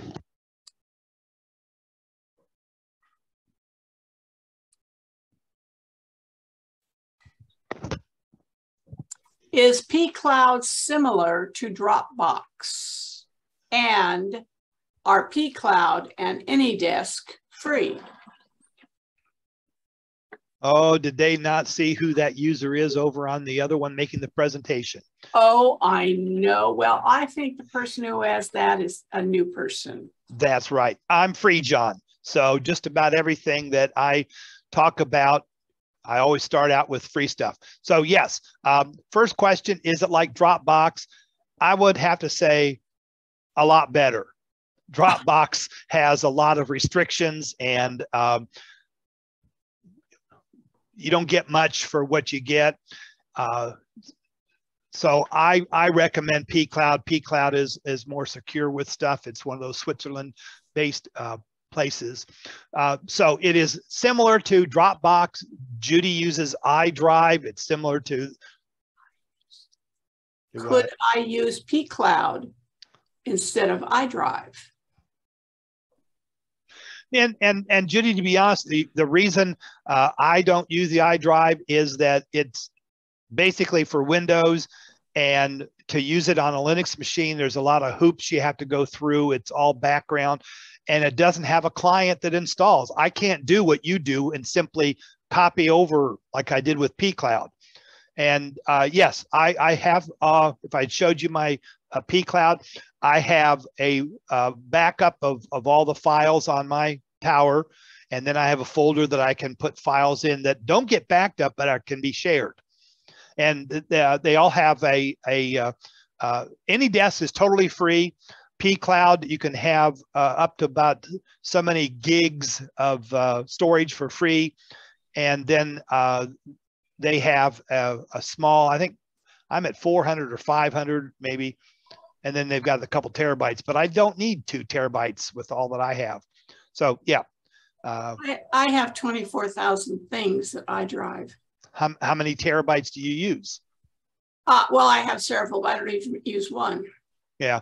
I I looked at that when I was trying to do it, and and P pCloud has and and uh, uh, I got Mike to to go with pCloud. Uh, they they have a lifetime that's a real kicker, but my problem is I'm going, I don't know how much lifetime I have. So I just pay by the year, like $49 for, you know, four or 500 uh, gigabytes of storage. Uh, but yes, oh. it's free. Got it. Thank you. And Warpinator is free because it comes with with that. Uh, and uh, you can you can do the same thing with with uh, TeamViewer because they have a file sharing program, but I've kind of left TeamViewer because they kind of deprecated some of the tools and features in TeamViewer for Linux users. What is the name of the file manager you are using? My file manager, which you didn't see, is uh, uh, Caja, C-A-J-A, which is very similar the the Linux uh, uh, Mint uses three different ones. In in the Cinnamon one, it's Nautilus. In mine, I use Mate. It's Caja, and in the uh, Xfce version, it's Thun, uh, Thun, Thunar. And you know, uh, the GNOME one is is files, and each one has a different name because there's a slight difference in them. And if they all were called file manager, you don't know which one you're using. Like learning a foreign language. Yeah, but but a lot of those are just generic file managers uh, for the file transfers. That wasn't you weren't seeing my my uh, file manager in my Mint. You were seeing the file manager in AnyDesk. Um, and I think the file manager that I didn't show you in Warpinator was just a generic here's your files and, and uh, which one do you want to send? Can pCloud restore older versions like the Windows file history? Yes. Okay. I haven't done that, but it, it has a, uh, keeps it for a while. You can pay pay to keep old files for a year like time, but yeah, there's some revisioning in there. Okay, and I'll answer this one. Uh, yes, AnyDesk works on Windows and probably works on Macs also. And it works on your your uh, tablets and your phones. Okay. And AnyDesk also works on Raspberry Pis. Oh, how cute is that? Uh, what kind of transfer rates do you get from Warpinator? I just love that name. Yeah. Typically, I find Linux file transfer of large files is very slow compared to ooh, Windows. I don't have any problems. You, are going. I'm I'm only limited by my internal network here because it's not going outside. It's just going right through there. So I haven't seen any big problems with you know mine. We'd have to check with Orv, who who does more file transferring with all of his out to the towers and across the valleys and stuff. Um, and he's living the good life someplace else right now. He's probably climbed his antenna. uh, Dave Melton. Yes. Windows has op. You're gonna have to put your Windows hat on too, please. Okay. Windows has options for using different SMB versions how would this affect your server? Um, it, it, actually doesn't uh, because the SMB portion of Windows is really not involved. I'm, I'm doing all my sharing from Samba, which is installed on Linux. All I'm doing from Windows is opening File Manager and whatever is allowed in File Manager is what I can do. Does that make sense? Yes, I, I, I know that I know that when you look at options, uh, th there are two or three options that are SMB 1.1, 2, and 3, I think. But th those are if I was sharing files from Windows as opposed to from Linux. Thank you. John, I have no more questions in the chat box. Okay. Open it up. Yeah, uh, I was just going to say that that uh, in following up with with uh, Orvs, um, networking, you can go uh, to any kind of extreme you want. I have to thank uh, Kurt for his excellent presentation he did on the headless uh, Raspberry Pi, because I now have one hooked up over there. There's no keyboard and stuff, so I have to use a program like uh, virtual network con uh, connector VNC uh, to get it, but then I can you know work on it. But it sits over there, and I've placed the uh, Pi-hole program on it, so it's acting as my uh, kind of as my DNS and filtering out lots of junk. So on my network, where uh, Orv showed you about where the DNS was, and he's using the 888 from uh, Google, I would probably use the uh, one either from Open uh, SSH or OpenDNS or the Cloudflare, which is the one to use. But my DNS servers are all the computers are sent to my Raspberry Pi and the Raspberry Pi then goes out and gets everything, pulls it in, filters it out. And Kurt, thank you so much. Um, now what I need now what I need to do is get room for another pie and do what Dave did and make a, a server on there. And yeah. if he hadn't done that presentation, that poor little Raspberry Pi would be sitting all lonesome where it was gathering dust. It was in a box. It, it sat all through the uh, pen, uh, uh, the uh, COVID situation because I didn't know what to do with it. But when okay. he showed me that, all right. So what we'll I, I, have one other thing here. I had uh, something from Ungerman. I was going to put in the uh, follow-up email, but he wants you to know that Warpinator is available as a flat pack, and I will include the link for that in the follow-up email. Now, unfortunately, he forgot to mention that Ubuntu people probably can't do it because they don't, Ubuntu doesn't like Flatpaks. They want you to do everything in snap packs. But yeah. as I said, uh, uh, ah, open source all Linux distros. All Linux. Okay. All Linux.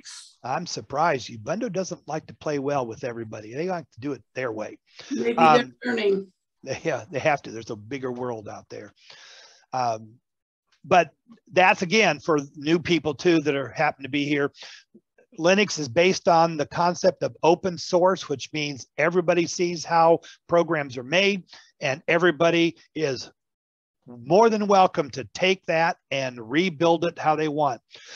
so if if uh, uh, they've done that, they've made a Flatpak version that will go on these other computers. That's great. So now, you know, all of you can do something with that. I have a question. okay. Oh, Dave, of course. I, I, have one more comment. Uh, somebody asked a question earlier about my presentation and being uh, uh, command line challenged, I think is how they put it. Um, just to let you know that in the material I'm going to send Judy, I have all the commands that I typed in the presentation. So you will have my list of the 12 commands I used, as well as the configuration file I used for your use or whatever. So yeah. there you go. Right. And, and I would add a little to that by saying that uh, these workshops are for all levels, and so we try to cover uh, all levels with different parts of the presentation. Once in a while, we'll have strictly a uh, Linux for beginners. We'll probably have one of those coming up in another month or so. So that's why we did Dave do his thing and Orv, and then the less challenged ones, that's what I did for you so that, you know, you can come away from here sharing files. That's because you taught elementary school. That's probably true. Okay, so I will. Kurt, just raise your hand, okay? he can talk now there. Do, do, do. Alex, you're on. Okay, uh, another program that's available on almost all Linuxes, and it's also available on Windows and Mac for sharing across your home network is NitroShare. And NitroShare is very simple to use. You open it on both machines and it stays, in my case, on my toolbar. And when I click on it, it tells me there's another NitroShare user on the network with it open. I right mouse click a folder and transfer, it goes right away. So it's a very simple program. Sounds very similar to Warpinator. So I'll, yeah, you can we'll do some configuration, but you don't need to. It the default settings work perfectly. Yeah, it'd be fun to go in and find out uh, if Warpinator did come off of uh, this one. Uh, what you sent me, it's called Nitro, Nitro Share. share. Yeah. Yeah. and to see, you know, who who was who came first, the chicken or the egg? Which came first, Nitro Share or Warpinator? Thanks, because my whole thing is there's not just one thing you can use. Right. Especially with Linux, you know, we've got a hundred different distros or more, and tw- 15 or so different desktops.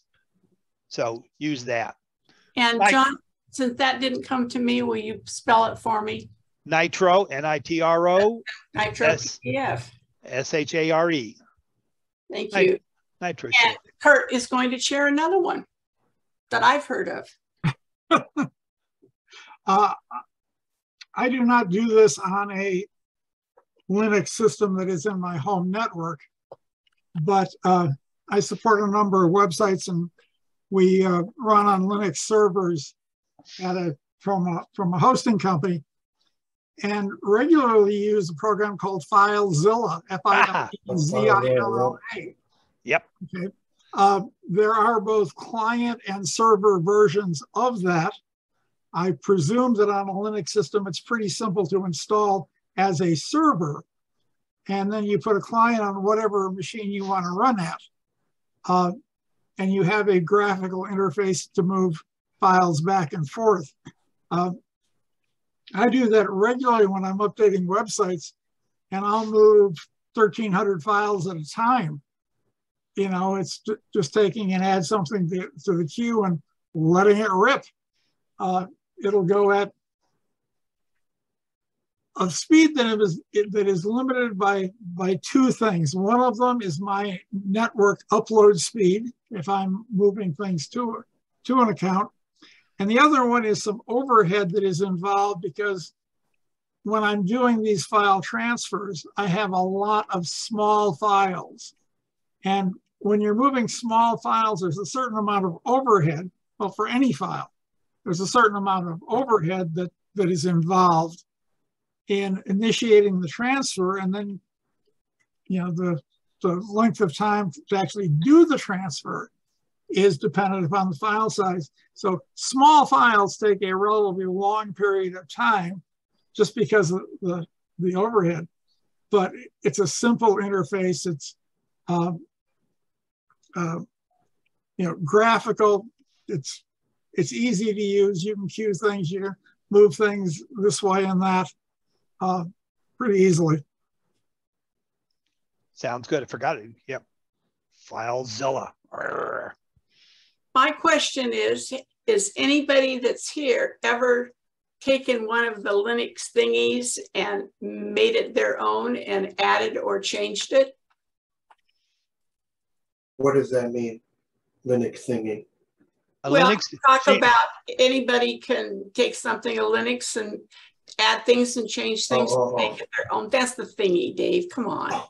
What are you asking that question? You It's should. a technical term, that. sorry. You got that. You missed my technical term. Has anybody done that? I've just just customized, you know, to my likings what I'm doing.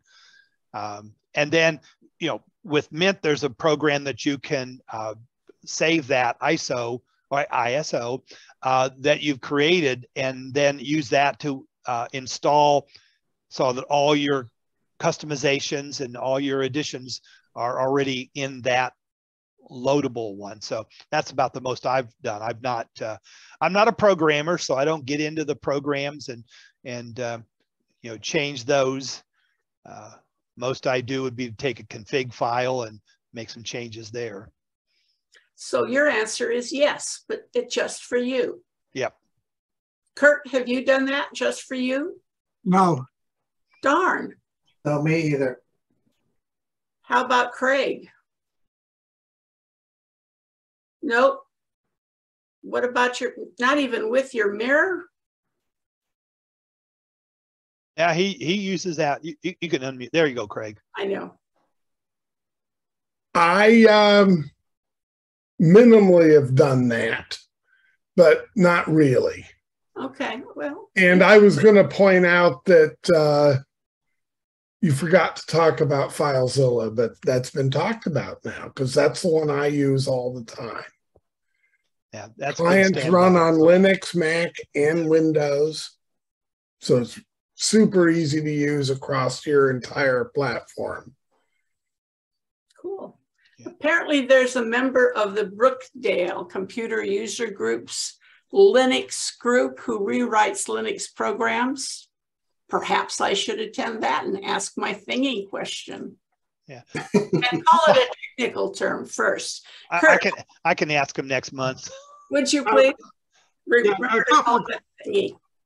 a couple of quick quick comments uh, with regard to uh, using FileZilla and, and whatnot. Uh, I have taken and set up accounts on a uh, from a host for a particular user of mine. Okay, and given them credentials, you log in with this user ID and this password, and you can do whatever you want. But they only see one little folder that I put out there just for them. Uh, works very well. And, and John made a comment about putting up another Raspberry Pi to put a, a different type of server, a file server on it. Okay, or file, file sharing. You can, you can run multiple server functions on a single instance of Linux, a oh. single Raspberry Pi. It doesn't have to be dedicated to running Pi-hole or running file, you know, a Samba server. It can do both. Okay, good. I just have to have enough storage. You just have to have enough resources, whatever that happens to be. Yes. You do you do have to be careful about security when you run multiple hosts because you have to open extra holes in your firewall. Oh, So be careful of that when you're running multiple ones on the same host. But if you have a firewall that prevents you from leaving your net or people from outside your network getting in, it's not probably a major problem if it's just on your local network. John, Yes. you created an ISO of Mint. Is there a link or a video for reference? on how to do that? Yep. You go to the menu and you hit the button that says make it. It's it it's it that comes embedded in Mint. Could you just- show us? Yeah. Thank you. Do do do do. If I can find it there.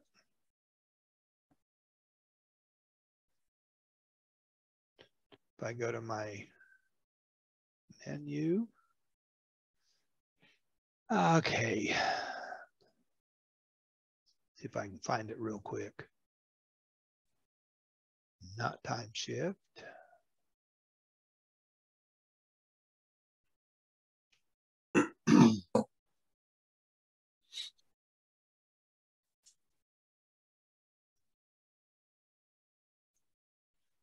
Of course, I won't be able to find it when I'm looking for it. Well, if you stop sharing, I can have the next person ask a question and then you can come back when you find it.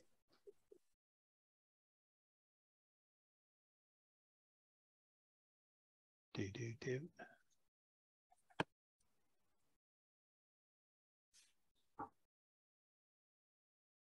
Oh, somebody said date decade, decades ago, he wrote a program to transfer files from DAT, DAT tapes. If you are working with tapes, that did have to be way back in the day. Tom, you're on. Unmute yourself, please.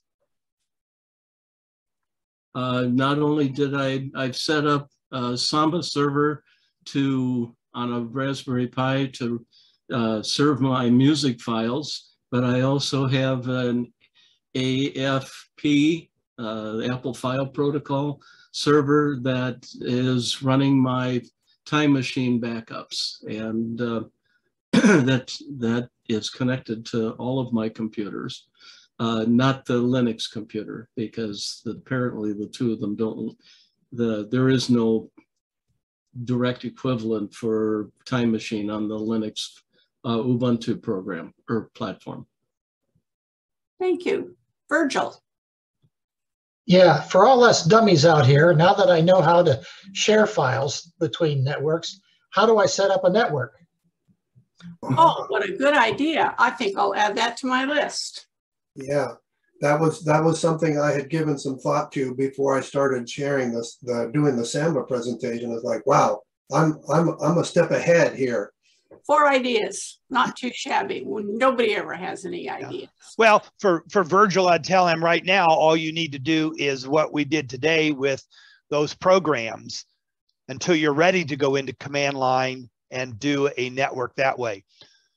Because when you when when you use the Warpinator, because you have Mint, if you have a second one, Warpinator software that just automatically connects, makes a network without you doing anything. AnyDesk connects and makes kind of a network without you doing anything other than running those programs. The big network is if you're going to have a full bunch of computers like we have in our lab, Virgil's one of my guys, that, that you're going to be able to be connect, wanting to connect to multiple computers. Then you set up a network. And basically, it's, it's what we talked about today. You set each, you can set each computer to a specific IP address, and then you go connect to them. But right now, for you, I tell people stick with Warpinator, stick with uh, AnyDesk, stick with uh, uh, Nitro, stick with FileZilla. You know, that was ways you connect to files. Networking is a little bit beyond what most people do in the big networking part. Um, Judy, the program, it's, it's not much to show because we've talked about it before. It's just a USB image maker. I know, and, but if you show him where it is. Oh, it's just USB image maker in, in the uh, Mint. Could we see it with our eyeballs? You know how I am. If it, if it excites you, yes. No, I'm a visual person. Do, do, do.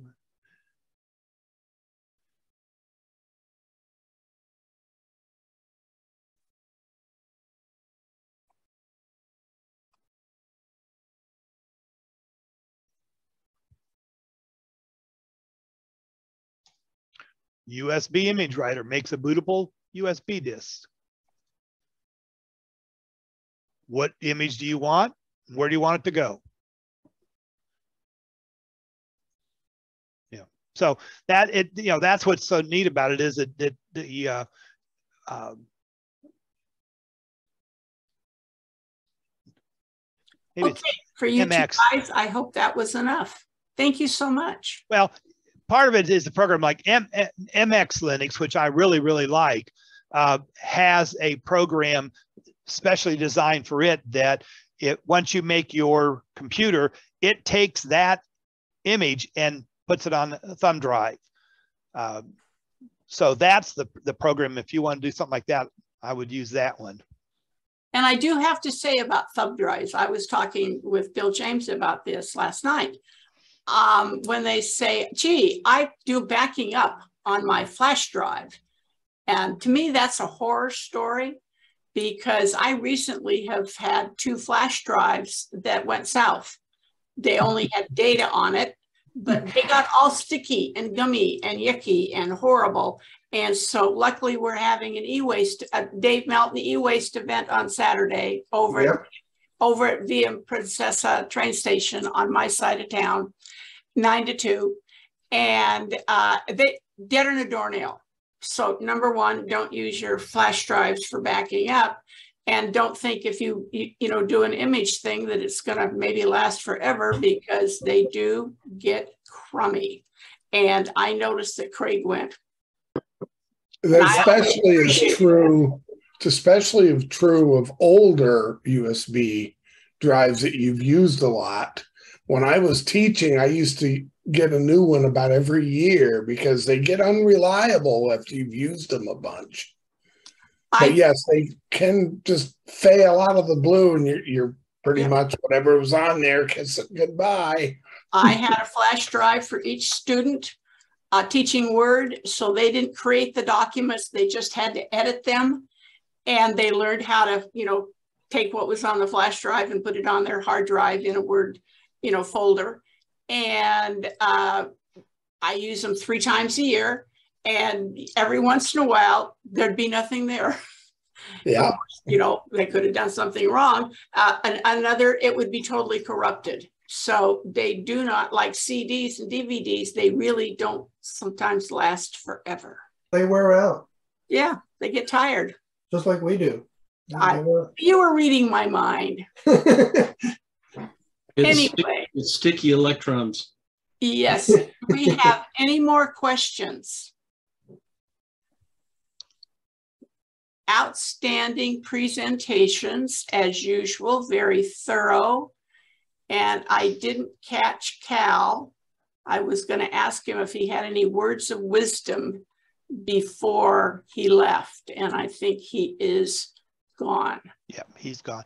He he said he was going to be just sitting in the background because that was an area that he uh, wasn't expert on, and I would have to say I'm not. Cal or Dave probably will say I'm not, or he probably is. But Yeah. we, hey, it's the idea that we're we're willing to take the step and say, well, here's what we know and what we've learned. We'll share it with you, and maybe you think we sound like experts, but not always. and and they are warts and all so feel free to say you know i think i'd like to be on a panel one time and give a little mini presentation about some kind of thingy Well, and it's the, something as simple as Kurt just and both Kurt and Craig said, I use FileZilla a lot. Okay, show us how. Show us. Do a little demo on that. You I know, also use SCP a lot too. okay, and like I said, Orv's going to teach us the new one with the F- uh, SFTP, which is he said it's what he saw has some really extra features. Yeah. But if there is something that you do that we haven't talked about that you think others might be interested in, share it with us. Let APCUG's overall umbrella says user groups helping user groups, users helping users. You know, I learned some stuff today. I didn't know anything about samba other than I thought that was a, a dance that you did with the drums and all. Um, but I like that one to- much better. You do? Okay. And so he he taught and he and I got to tell Dave that he he even went more than what I re- didn't think he'd do. I said that's I was impressed. He he really did it well. So if if there's things that that that you uh, uh, that you have used that we haven't talked about, well, added. You know, eh, we're not expecting expert teachers because if we were, I would not be here because I go to the, I've sat in on the Boston's Linux group, which is not a member of APCUG, and they're like here. Oh, And they, they're a group that meets at MIT. So that's got to tell you something. Now, Brookdale, that's a great group. Boston, phew. Yeah. So, and i do have a comment beware of where you're getting your thumb drives from and make sure that oh my gosh that is such a great deal i'm getting a whole box of flash drives for a little amount of money and i can remember the president of UCHUG under the Computer Hood User Group in San Diego used to say that, that he would go to Fry's back in the day. Oh, I miss Fry's. mhm. And, you know, there'd be this big sale and you wouldn't touch him with a 10 foot pole. Yeah. Or or the one that Dave Williams got and brought to us at uh, Florida. It was like a five gig terabyte or five terabyte thumb drive for ints dollars, and when you ran it, it only could hold 200 megs. You know, Oh, yeah. mine Uh, works, mine works just fine. Thank Yep. you. It, it- oh, it works, but it's not as big no, as they I mean, claimed. yeah. Really, it's as big as they claim. Sorry. Maybe, that- I- yep. And this is even the lanyard that somebody at the Florida conference was giving out. Oh, because the ones we got did not have that full capability. I have do- I- The I- only one that did. Only one that did. I guess that's why. I do want to make a plug because he where did he move? he's sitting right here. Uh, next week, our uh, work Wednesday, Wednesday workshop is an Apple workshop. We wow. Linux today. Next week, tell all your Apple people. Craig Wright is one of our presenters for next week. And uh, we've got a couple of others. It's going to be a really good one with a multiple. So Apple people, tell your Apple people, get themselves out of here because we've we do it. We're not just a Windows. We're a Windows, Linux, and Apple. So you want me to show up next week? I, I would really appreciate that. I would- John- John's even got your bio for Pete's sake. If you're not here, he's reading it anyway. And yeah. so yeah. we'll And in. and again, And Deborah will be here as well, just like you've seen in the past. That's great. We're going to have two people from two different locations. Plus, we have two other people. So we've got really a three part uh, Apple presentation. So you don't want to miss that. Rookie, And Rookie if- from the Central Computer Rookie, yep, Right. Rookie. will be here and she will doing be doing the Matt flyover feature and she just got back from a month in Florida and Germany. And we will have a new presenter um, who made the mistake of volunteering. And he's also on the speakers bureau with uh, apple type presentations. We haven't had any of that since jerry minnick left. And he's going to be talking about apple's version of Word, Excel, and PowerPoint, just little nip tips of that. Those are, and it's all about Apple apps. And then another time we are going to compare iPhone versus Samsung. And then I want to have uh, the uh, iHealth apps versus the uh, Samsung health apps, a comparison of, you know, what you get with your phones and your watches and things like that. And as always, if you have other ideas of workshops, uh, we're probably in August to only have two workshops because we have Oh. a Saturday. We're into September. Yep. Well, you know, we got two workshops in in uh, August because we got a Saturday uh, safari, and then we'll be back in November or September, uh, October. September. Yep.